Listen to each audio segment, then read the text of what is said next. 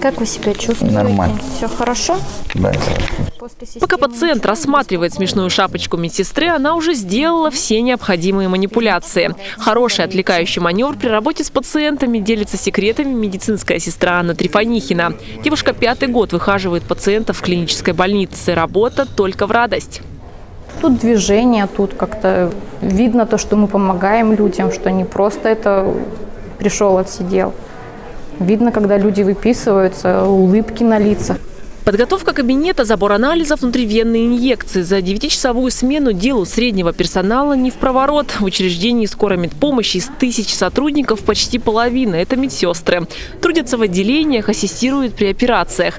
На одну медсестру приходится 25 пациентов. Укомплектованность средним персоналом в больнице 90%.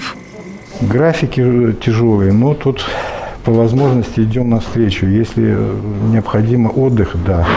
Если переболели, допустим, ковидом, то стараемся в в санаторий отправлять.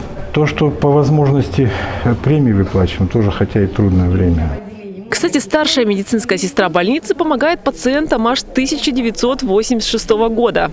Мы раб- работаем, принимаем круглосуточно, то есть сутки через сутки. К нам везут пациентов со всего города. Мы оказываем экстренную хирургическую помощь.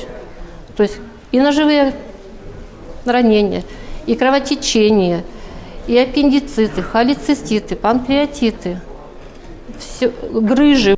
Сегодня медсестер в их профессиональный праздник торжественно поздравили в актовом зале. Ну а дома не до праздников, говорят, нужно отдохнуть перед сменой. Дома? Да никак. Валентина Аскерова, Анастасия Бертенева. День с толком.